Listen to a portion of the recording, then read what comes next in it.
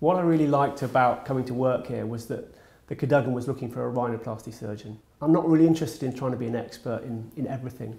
I'm only really interested in being the very best and getting the very best outcomes for my patients, which is patients who want a rhinoplasty.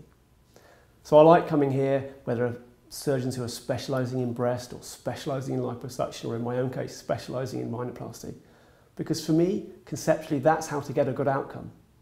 You want to find someone who does one thing all the time and does it to the very best of their ability. And that's what I see my role to be here.